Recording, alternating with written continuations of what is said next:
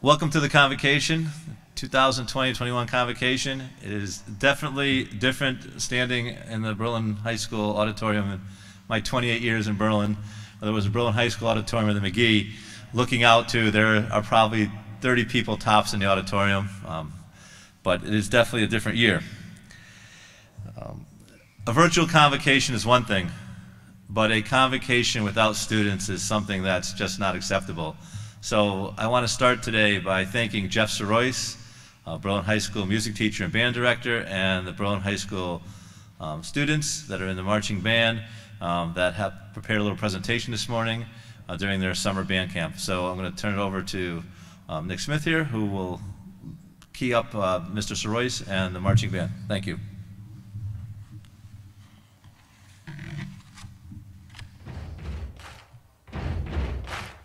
Dear Berlin educators, Dear Berlin Dear educators, Berlin educators, Dear Berlin educators, Dear Berlin educators, the members of the Redcoat Band just wanted to say, welcome back. welcome back. welcome back. Welcome back. welcome back. Welcome back! Welcome back.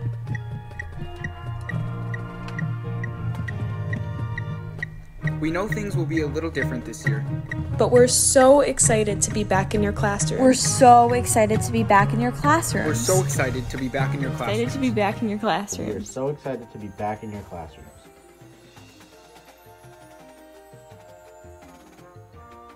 This summer's band camp was different too.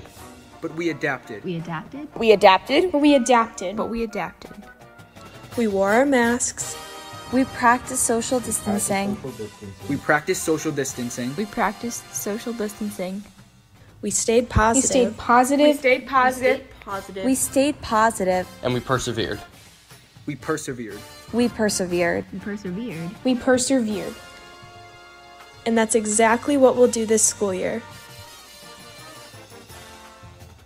Welcome back, Berlin. Welcome back, Berlin. Welcome back, Berlin. Welcome back, Berlin. Welcome back, Berlin. Welcome back, Berlin. Welcome back, Berlin.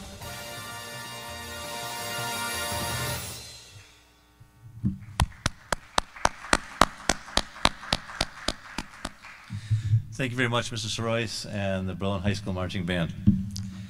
At this time, uh, Richard Royan, uh, Board of Education President, cannot be here this morning. He's also an assistant principal at Southington High School, so he has a pre-recorded message they'd like to share with you. So at this time, if we could cue up Mr. Royan.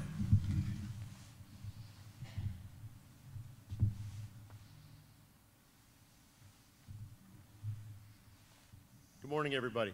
My name is Richard Roy, and I'm president of the Berlin Board of Education. I want to welcome everybody back to school this morning, although it feels a little bit strange, quite frankly, to be speaking to you virtually while many of you are live in the auditorium. Uh, I want to acknowledge all the work that's been done over the summer by the administration and the staff to prepare for what is certainly going to be the most complicated year in public school history. First and foremost, I want you to know that Brian and his staff, as well as the Board of Education, has done and will continue to do everything in our power to keep all of our students and staff safe. That is our priority. We're a well prepared district, better than most, I would say. In fact, even so, you'll be faced with issues that you can't anticipate. This is not the type of school year that any of you ever envisioned when you got involved in this profession. I know that I got involved in education because I loved working with kids. I wanted to make a difference in people's lives, and I wanted to explore in, uh, a career that allowed me to express my passion for history. While this is not going to be a typical school year, I do believe that we can still accomplish all of this and more. Our students need us more than ever, whether they're sitting in front of you in class or taking part in a Zoom meeting sitting in their jammies. Many of our students have been isolated and anxious since March. Many of our families have been isolated and anxious since March. Many of you have been isolated and anxious since March. I know on a personal note, this will be probably the only time in my life where the fall is going to be less stressful than the summer. There's been an immense amount of work that's been done and is still to do. I believe that once we return to school and we see the kids in front of us, whether they be in person or on screen, we will do what comes naturally. We will teach. It might not look the same initially, it might not feel the same internally, but we will make a difference in people's lives. I know that you'll face your students with positivity, patience, and understanding. Please know that you are supported by the Berlin, Berlin Board of Education. We are here for you. If you have needs, please tell your administration. If you have thoughts or concerns, please reach out to me. We all serve the same students of Berlin. I wish you all a meaningful year. Thank you. Thank you, Mr. Royan. Next, I have the privilege of recognizing the tenure recipients. So I would like to recognize those teachers and administrators receiving tenure. As all of you know, tenure is achieved upon successful completion of 40 months of employment in the same Connecticut school district, or 20 months of employment if tenured in a previous Connecticut school district. So it's anyone under the superintendent is considered a teacher. So for those uh, rec- receiving tenure, Nicole uh, Jessica Sear, Jamie Dirksen, Brian Foreman, Janice Gregorick, Susan Harmon, Christopher Judd, Denise Marshall, Aaron McGurk, Kara Quinn, Megan Sita, Michelle Wade, Christine Cugno, Stacy Del Giorno, Eileen Eustace, Danielle Gemmel, Pam Hammond, Alexandra Ivamy, Roxana Lopez, Michelle Martino, Kristen Passavento, Gretchen Schultz, and Rebecca Tibble, and Stephanie Zappone. Congratulations to all of you.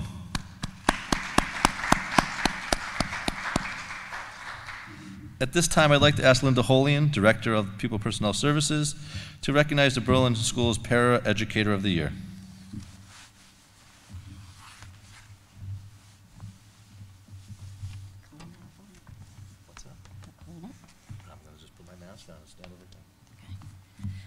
Welcome back, everyone. I'm pleased to congratulate Kim Dunnigan from Berlin High School for receiving Berlin's Paraprofessional of the Year award. Kim is an amazing asset to the Berlin High School Functional Life Skills program. She consistently promotes independence along with providing opportunities for students to build the skills needed to become lifelong learners. She continually coaches students through academic, vocational, and social situations to facilitate the ability to internalize learning. Kim is always willing to fulfill any responsibility needed of her within the classroom, from working one on one with students, running small group learning sessions, coaching students in school based vocational settings such as the Berlin Grounds Coffee Shop, which we will continue to do this year, and taking initiative when supporting students on community trips. Within the classroom, Kim is often seen to be thinking ahead, and her ideas provide exceptional support to classroom lessons. Her ideas and suggestions enhance content, life skills, and vocational tasks throughout the programs. In addition, students find Kim easy to approach and ask for help, seeking her out for support and advice. When asked to write about our, your hero, one student in the program wrote following, My hero is Miss D. I look up to her because she is one of the best teachers ever. She is one of the funniest, kind, and sweet teachers. I like when she works with me. She makes me happy. Kim's support of the students in the Life Skills program goes beyond the traditional school day. She works with students during Unified Theater and Unified Sports to ensure that all students have access to these programs. Whenever there is a need, Kim is willing to step up. During the start of the district's recent distance learning, Kim worked with her assigned students doing daily check ins, creating weekly organizers to support students with work completion, and continues to assist with modifying mainstream classes. Kim is an ideal paraprofessional and a key team player within the Life Skills program. She not only supports teachers and related service providers with planning and organizing learning experiences, but also engages students and assists them in meeting with success. Kim is a true asset to the Berlin schools. Kim is going to be getting a, a parking sign too to um, keep here at, at the high school. So let's, congratulations, Kim.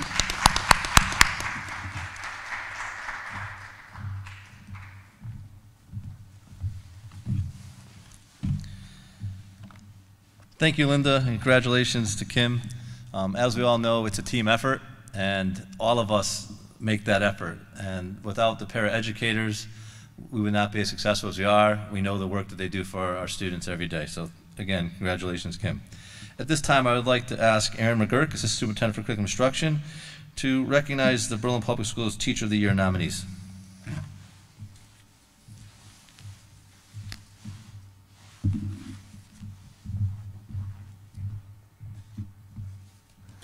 Good morning, everyone.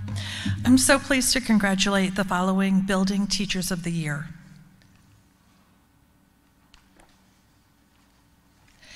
First, Daniel Thurston, Berlin High School. Daniel has spent his 12 year career teaching in, at Berlin High School. Among the courses Dan has taught at BHS are geometry, balanced algebra and geometry 1, honors pre-calculus, probability and statistics 1 and 2, AP UConn ECE calculus 1 and 2, independent study, and multivariable calculus. Among others, he has served on the district mathematics vertical team, the NEASC steering committee, as a team mentor, class advisor, and swim and dive coach. Speaking on his behalf, Katie Amenta stated, Dan's role at BHS goes beyond the definition of asset, but rather distinguished professional whose modesty and perseverance in and out of the classroom is nothing more than admirable. In his philosophy of education, Daniel states, at its core, teaching is about inspiring and empowering people to grow. This means meeting individuals at their level, establishing a growth mindset, and understanding that success looks different for different people. I do this by sharing my passion for our content and the process of learning. Dan, thanks for making BHS a better place. Stephanie Began, McGee Middle School. Stephanie is a veteran educator with 43 years in education, 21 of those years as a special education teacher in Berlin. She has served as a team mentor and co department head for special education and participates in ruler, math studio training, and in all areas of special education professional development. Many of Stephanie's students remain in contact her, with her well into high school because of the relationship she has built with them. One of her former students says, Mrs. Began was critical to my ability to continue thriving at school, despite the difficulties I faced at home. In her philosophy of education, Stephanie states, each day, teachers devote themselves to the three R's reading, writing, and arithmetic, and the many R's relationships, relevance, reimagining reality, and reflection. My success as a teacher also requires the four C's communication, challenge, collaboration, and compassion. Thank you, Stephanie, for your continued devotion to the students of Berlin Public Schools. Sarah Serrana, Hubbard Elementary School. Sarah has been a teacher for 17 years and has served for 15 of those years as an elementary teacher at Hubbard. She pre- previously taught fourth grade in Middletown and Newington. Sarah has a strong commitment to professional learning, becoming a Google certified educator and Math Studio training teacher, and participating in Ruler, Responsive Classroom, Teachers College Readers and Writers Workshop, and Fountas and Pinnell BAS training. She served on the district's mathematics and science vertical teams, as well as staff advisory. In her philosophy of education, Sarah states, I believe it is important to establish a safe, positive environment that not only sets high expectations for academic learning, but also sets high expectations for character, respect, and responsibility. Developing these qualities and enhancing self esteem are goals that should be addressed every day. We are indeed fortunate to have Sarah as a teacher in Berlin. And finally, Cassandra Fascador, Willard Elementary School. Prior to her six years teaching in Berlin, Cassandra taught in Waterbury. Cassandra has served as a grade three team leader and has served on the district's mathematical vertical team, social committee, has supported Genius Hour, and has worked with the Teacher Leadership Council. In her philosophy of education, Cassandra states, Getting to know my students' likes and dislikes, both in and out of the classroom, allows me to foster personal connections in order to deliver meaningful instruction. I learn about my students' needs, assess my own knowledge, and determine how I can bring the two components together. Being a teacher to me is not just a job, but instead a passion I've had ever since I was a child. Knowing that every day I have an opportunity to shape the young minds who walk through my classroom door fills my heart with excitement. Cassandra, thank you for being such a tremendous asset to our district, and congratulations to all of the building teachers of the year.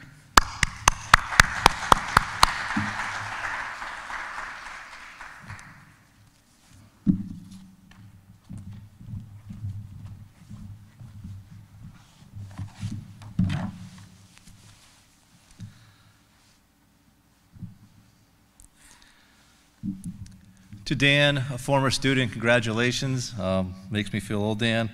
Stephanie, who I worked with for probably 15 years at McGee, congratulations. Sarah, who your dad was the assistant principal when I started at McGee, congratulations. And Cassandra, who was uh, my assistant temporarily uh, before teaching when I was assistant superintendent. So I feel a personal connection to all of you. Um, I was not on the committee, so I did not select them, but congratulations to all of you. I am very proud and privileged to announce our Teacher of the Year for this year. That is, uh, Mar- uh, sorry here, Mary McFarland at Mary E. Griswold. It's only because I know you were at Willard for a while, Mary. So um, I've also known Mary for a number of years and the outstanding work that she has done. So let me just start read a little bit about Mary. Mary has spent 16 years, over 18 years in teaching career in Berlin. In addition to teaching, her involvement in the community as an advocate for her students in extracurricular activities, she has served as the Willard Special Education Team Leader, a team mentor, a cooperating teacher. In 2010, she was recognized as the 2010-2021 Willard Teacher of the Year. She earned a bachelor's degree in elementary education at Clark University and a master's degree from the College of New Jersey in special education. Before coming to Berlin, she taught for two years in Campbell Elementary School in New Jersey. Mary oversees the Students Needing Alternative Programming, SNAP, which services the needs of students from all three elementary schools who have significant emotional and behavioral needs. Mary's experience with special needs students goes far beyond her own childhood. Her parents were um, therapeutic foster parents who took in some of the most challenging children in the foster care system. In her philosophy of education, she states, This opened my eyes to the impact that individuals can have on the lives of children that suffer from trauma. This experience planted the seed that would lead me to do what I do each and every day. Mary's sincere commitment to putting the emotional needs of children first and meeting them where they are is reflected throughout the SNAP program, influencing those around her to do the same. In a recommendation letter to the committee, Mary's behalf, Allison Curran wrote, In all of her responsibilities overseeing SNAP program, she exemplifies compassion, flexibility, dedication, and I have witnessed the depth of the relationship she builds with each of her students. Ms. McFarland is heavily invested in her students' success in her program. By meeting the students where they are and developing the strong rapport within the trusting relationship, she is able to shape her students' behaviors and work output over time. Dedicated to her continuous growth as an educator, Mary has participated in training focused on collaborative problem solving, positive behavioral support, trauma informed teaching practices, in addition to technology training for the classroom. She brings things she has learned to her coworkers, which says, make up an outstanding team, and her just one piece of the puzzle. This will be an exciting year for Mary. It's an exciting year, I think, for all of us, but for Mary, very exciting year. In addition to speaking today, she'll be honored at the annual Board of Education meeting in November. Please join me in congratulating Mary as the 2021 Teacher of the Year for the Berlin Public Schools.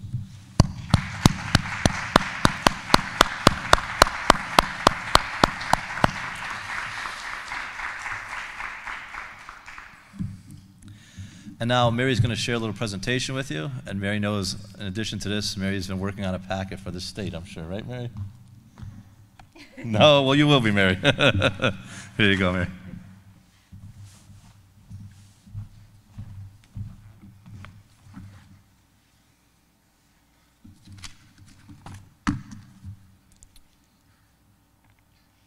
Welcome back to the 2020-2021 school year.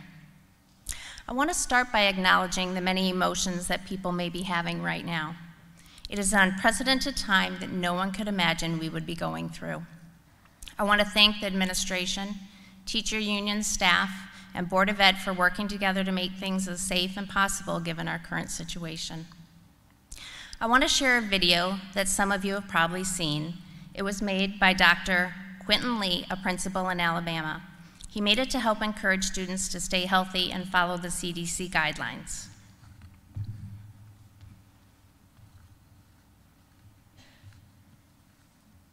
You can't touch this. You can't touch this. You can't touch this.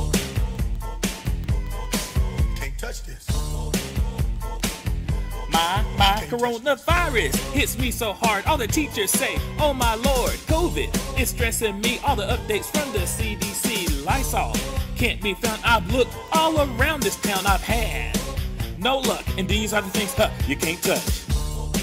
I told you, students. You can't touch this. You better pull that mask up. You can't touch this. It's the CDC, not me. You can't touch this. Hey, go wash your hands. Touch this. Fresh new rules and plans. Let's all be safe. Go wash your hands. So move back up six feet. You better not cough and you better not sneeze. Sanitation. Hold on, let me check your temp. Not under your arm like that. Like that. You're all clear. Go to the back. Everybody says that this is too much, and these are the things uh, you can't touch. Yo, I told you. You can't touch this. Why are y'all standing so close? Back up.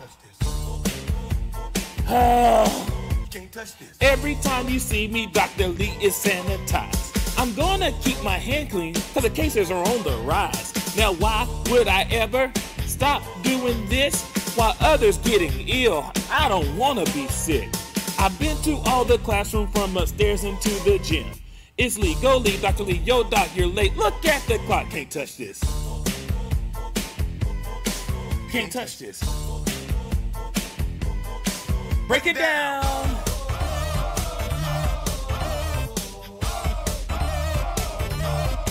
Six feet.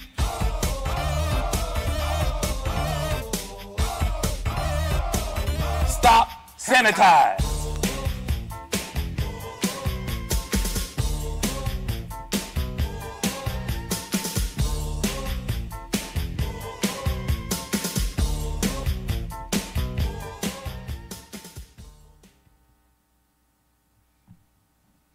I'll be curious to see what Brian and Aaron and the other administration come up with for a video like this. My focus this morning will be on the importance of building supportive relationships with our students, but I want to start by explaining what the SNAP program is. SNAP stands for Students Needing Alternative Programming. It is a district-wide program that was put together to meet the needs of the elementary students in our district that struggle most significantly with emotional and behavioral challenges. The goal of the program is to gain control of behaviors so that students can be available for learning and get back into the general education classroom with limited supports. Many of the students in the SNAP program have experienced some level of trauma. The program is a team approach and would not be successful without an amazing group of paraprofessionals, BCBA, RBT, and school psychologists that work tirelessly to meet each student's individual needs. I've always had an interest in working with this population of students. When I was three, my parents started taking in foster kids. We were a therapeutic foster home, which means we took in the most significant kids in the system. My parents have had about 40 children that have spent time living in our home. Some were just for respite support, but others lived with us for years. It is through this experience that I saw how building strong, supportive relationships can really change the lives of others. In planning my speech, I was speaking to my mother about her experience as a child that had experienced complex trauma and how she was able to overcome that impact. She was very quick to say that building meaningful relationships with adults in her life made the most significant impact. As an adult, she wanted to be able to make that impact on other children, which was one of the reasons they became foster parents. The National Institute of Mental Health defines trauma as the experience of an event by a child that is emotionally painful or distressful, which often results in lasting mental and physical effects. I have listed out some of the known traumas that some students in the Berlin school system have experienced. The National Child Traumatic Stress Initiative stated that more than two thirds of children reported at least one traumatic event by the age of 16. This would mean that you have students in your class and many students in our schools that have experienced trauma. With the students coming back after being away from school since March 13th, it is imperative that we meet students where they are at, not just academically, but emotionally. Not all of them have had a stable, safe home to be at for the past five months. Trauma can happen in any home, regardless of how perfect it looks from the outside. My mom grew up in a wealthy family of a doctor, and it still was happening behind closed doors. For some young people, especially those that have experienced trauma, school is the only place in their lives where they know they are safe and can form trusted relationships. It is therefore a cruel irony that many students who are affected by trauma also have trouble engaging at school. They may attend school hoping to make good choices, yet they find themselves struggling to regulate their emotions, becoming defiant, demanding, and disengaged, unable to learn and confused about why they can't relate and bond with others. We need to change our thinking from what is wrong with this student to what has the student been through, and then start asking what does the student need to reach their potential. This allows school staff to extend the focus from what is wrong to what is needed to what is possible. Trauma affected students have more relationship challenges to navigate than most. These students can be dealing with harmful relationships at home and then come to school to manage relationships with teachers, school staff, and peers, all while living out their daily lives. It is critical that we help these students feel safe and trusted where possible, so they learn what it looks like and seek out positive bonds with others. Adults in school may be the only people who help these students learn what a healthy, supportive relationship feels like. Building this trust involves simple practices such as smiling, sharing parts of your life with the students, getting to know the students as individuals, and using yourself as a role model. Making children feel that someone cares, as simple as asking, How are you doing? This can be done by any staff member in a school. Taking time out of your day to just connect with the students. When I think back to my years in school and which teachers stand out to me, it's the ones that seem interested in me beyond the academics. I clearly remember my fifth grade teacher who would always ask how soccer was going. She took the time to know what my interests were outside of school. The students that push back the most are the ones that need us the most. I'm sure we can all think of a student or two that could really get under our skin. These are the students that need us to work extra hard to create a relationship with them. These are the ones that you can't give up on. They are the ones that need us the most. I want to show a short video that I found that shows how creating these relationships can make all the difference in the student's life. It was like I never thought that anybody would care about me like a family would, and it's like, no, this random woman cares about me like my own mother. I felt like nobody around me cared, so I really didn't care. During my school career, I never had someone who like simplified the whole process. And I couldn't focus. I couldn't go to school because I felt like no one there understood. Before I got locked up, everything was going in my favor. Being frustrated, um, I started skipping school. I didn't feel like they were taking the initiative to really try to help me learn the way that I learned. I was always getting suspended. Like I felt like I was getting picked on by teachers. But she was like, "You gonna do great things," and it, she meant it. In life, all you need is a person to be willing to understand you, to listen, to give an ear, an arm, something to help you out. Someone that's always there to, to help them when times are rough and to show them that this is the right way to do it. And let that one person know about you know their life and what's going on because people just go to school and act like everything is all good, but you don't know about their life. Are you okay? Is all they could have asked me. And things could have been a lot different. They don't need a teacher to be like, oh, he's a bad kid, pointing the finger at him. They need, oh, you can change, you know? They need somebody to uplift them. I walk in this morning, she, she like, how you going with your classes? How many more quizzes you got to do? How many of this? How many of that? You need help with this? I got somebody to help you with that.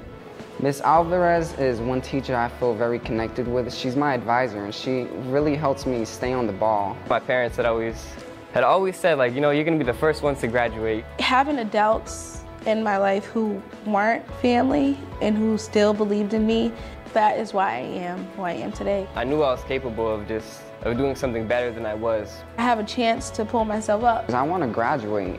I want to be something in life.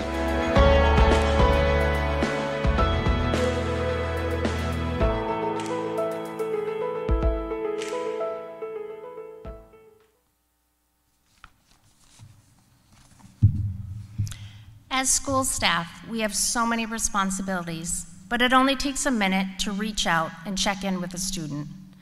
Many students are returning with apprehension and fear of the unknown. Reach out, check in with these students, show them that you care and that they are someone special. Be the person that makes the difference in their life. Thank you.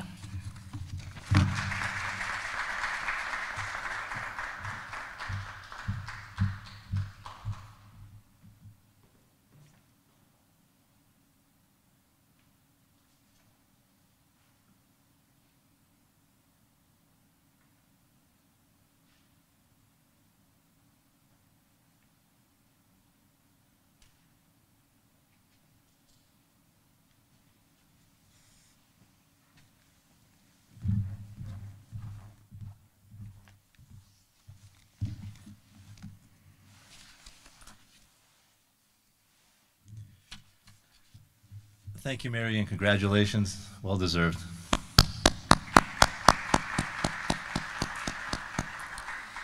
I'd like to ask uh, Aaron McGurk to come back up to the podium to share a few words with you. Aaron?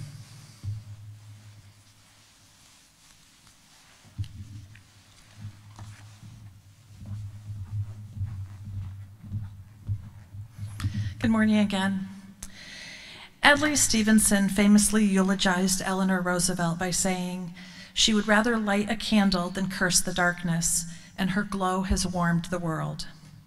Last spring, as the tentacles of the global pandemic reached into every corner of our lives, the world did indeed seem very dark.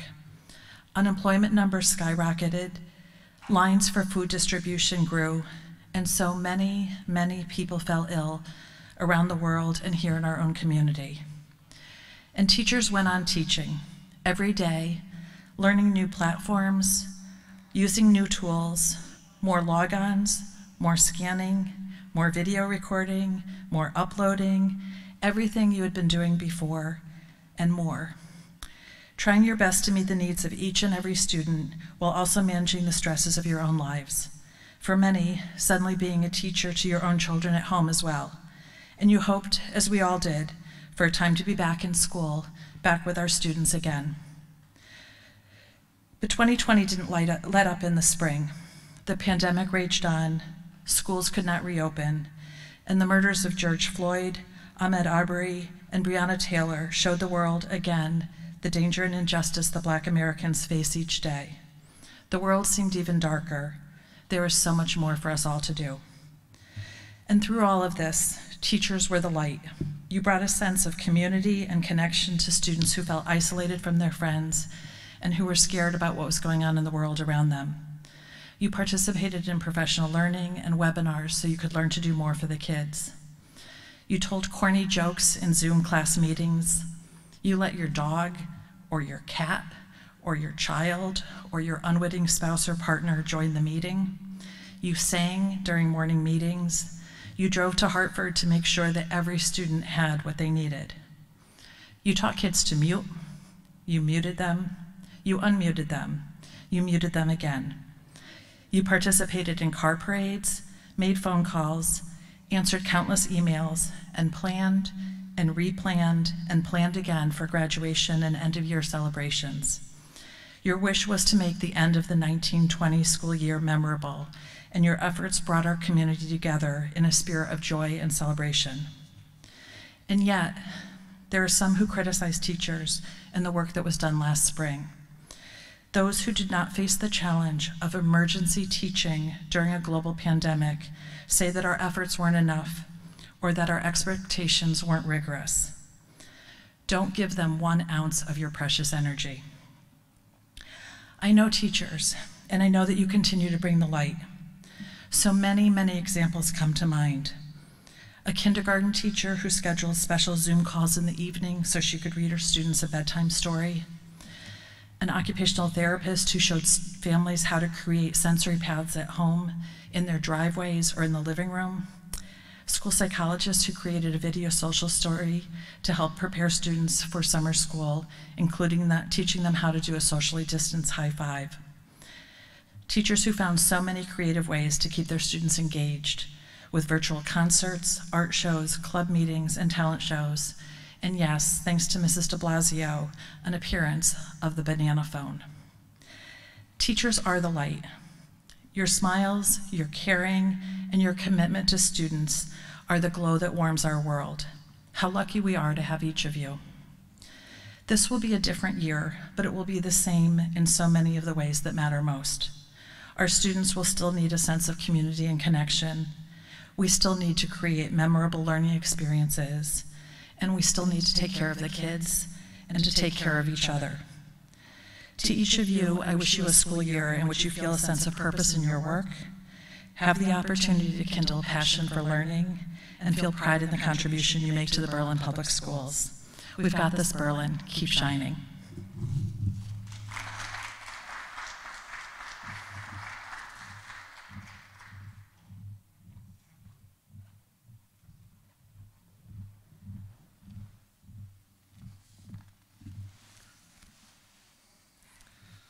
Thank you, Aaron.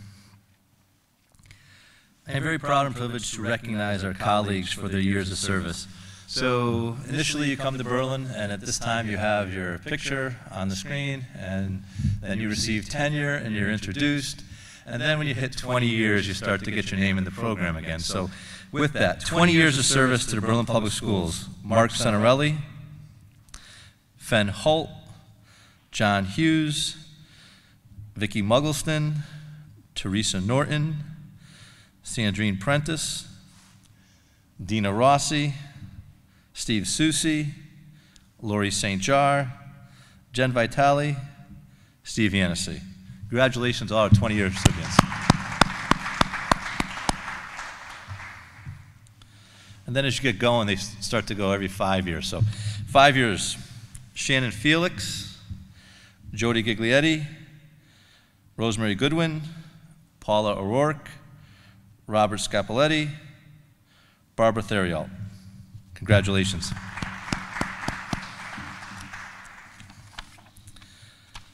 Thirty years of service.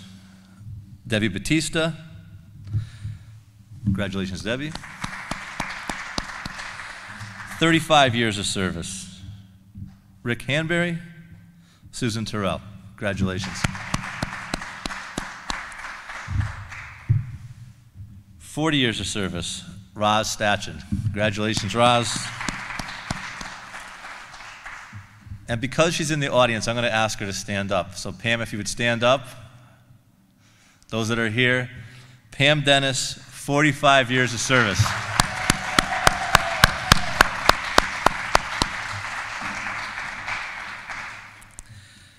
We're nearing the end of the convocation, so I, I have to close with some words.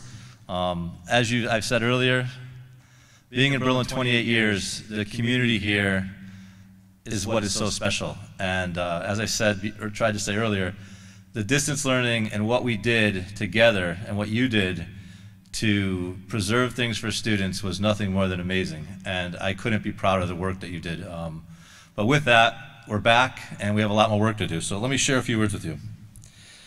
So much has changed, so much remains the same. Welcome back. I say this with more feeling this year, with even more conviction.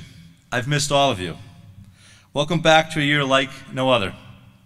So much has changed. I want to explore that with you today. I could stand up here today and make the case that this change will be easy. It really is. Try this and I'll prove it to you. Do this with me now. Sit with your eyes open. Take a deep breath. Count to five. One, two, three, four, five. Now clap your hands three times.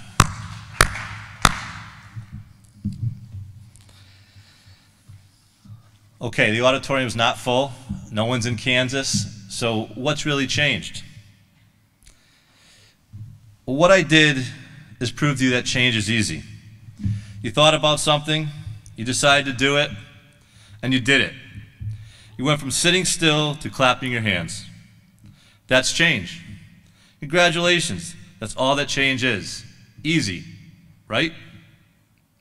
Sure, some of you are thinking right now, that's not the change that we are talking about. And you'd be right.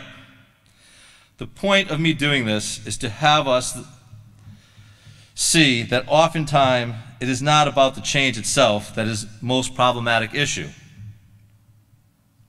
The real problem is our fears of the change, specifically the fears of the unknown outcomes that may result of the change. And these fears are often accompanied by other feelings stress, anxiety, uncertainty. These feelings are all real. For me, this was not a typical summer with time for relaxation and renewal. I suspect the same was true for you. It was instead a time for reconfiguration, for adjustment, for recreation of the school environment.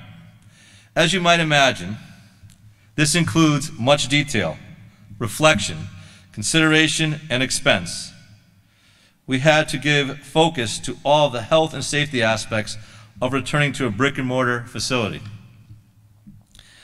The changes have been foundational.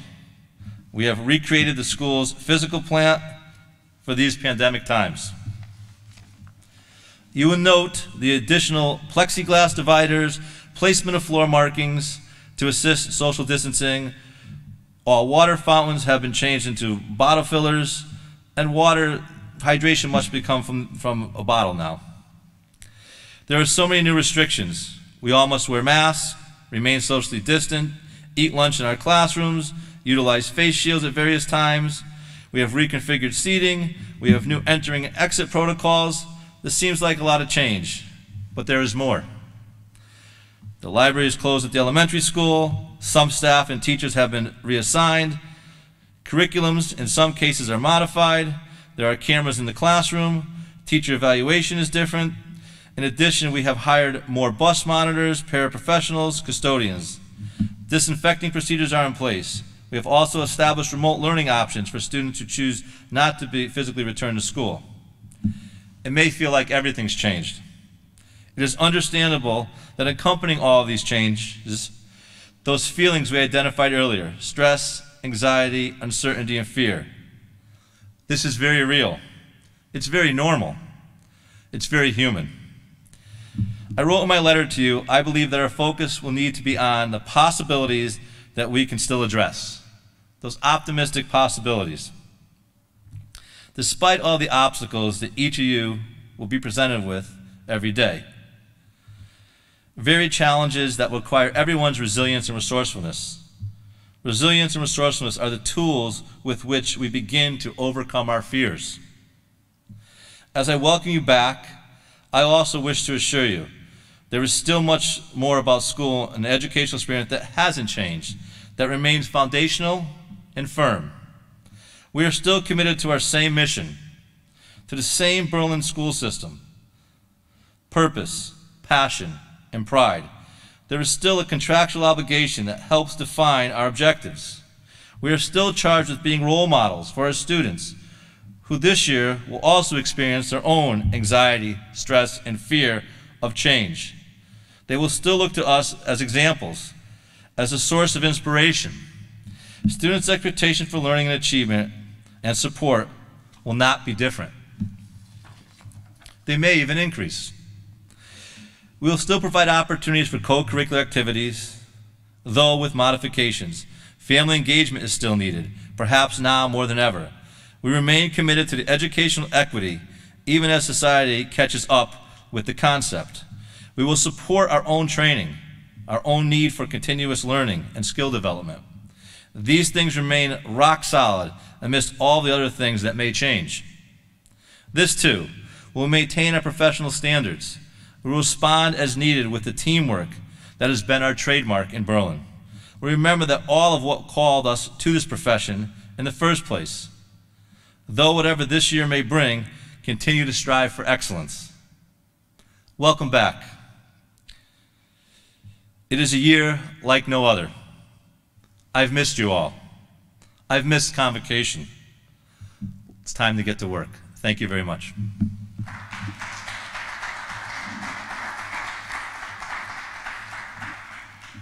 I know you have schedules for the rest of the day. That concludes convocation. Um, thank you all very much for coming. Look forward to a great year, and I know there'll be challenges ahead. And if you need anything, please reach out. If it needs to be the central office, do not hesitate to send an email or a phone call. Um, we really do care about you, and we want you to be successful. We know that all of you are the connection to how students are successful. So have a great year. Thanks again.